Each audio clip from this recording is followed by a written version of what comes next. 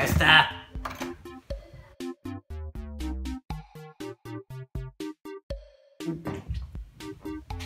Kom her, sæt dig ned, min lille ven. Hvad er dit navn, så ven? Ja, bro. Hvad? Hvad? Hvad? Hvad? Okay, så hvad er din problem, makker? Jeg kan ikke se længere end tre kører væk.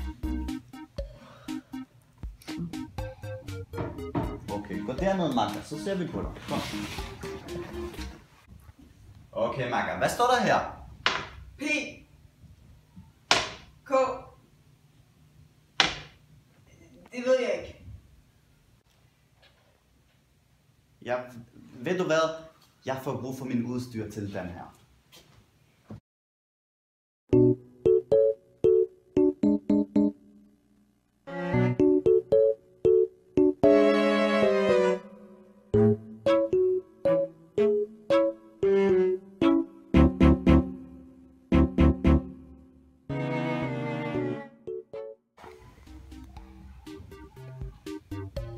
Jeppa! Typisk tilfælde af kortsynhed. Hvad er kortsyn? Kortsyn kan du se her. Den forreste del af øjet består af hornhinden og øjets linse, som samler lyset og stiller skarpt på det, du ser på. Og på pillen bestemmer, hvor meget lys, der kommer ind i øjet. Bagerst i øjet er nethinden. Der sidder øjets sanseceller, hvor billedet dannes. Det hvide i øjet, også kaldt senehinden, beskytter øjet. Er man nærsynet, så samles lyset i øjet før den gule plet. Er man derimod langsynet, så bliver lyset samlet bag ved nethinden og danner dermed et utydeligt billede i øjet.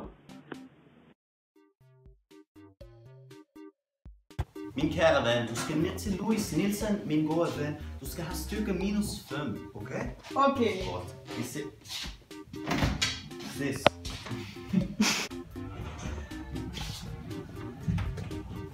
Albert Lorenz Strandli von Hinterberg.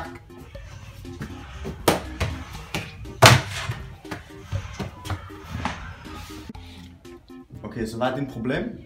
Jeg kunne godt tænke mig en undervisningsteam hos dig. Okay, følg mig. Det her kaldes El Special Rom. Ser du, min ven?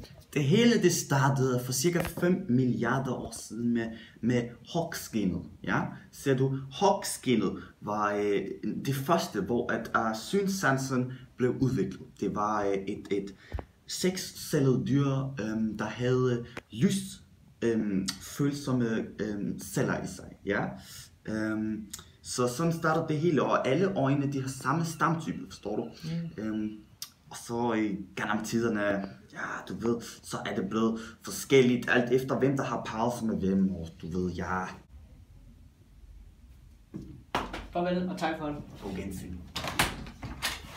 Og til jer derude, tak fordi I så med hos Dr. Wusumu, øjenlægen over dem alle.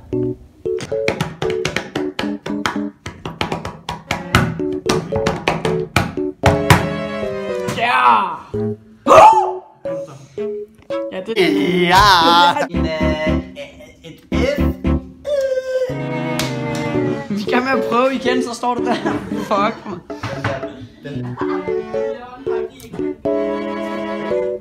I missed it.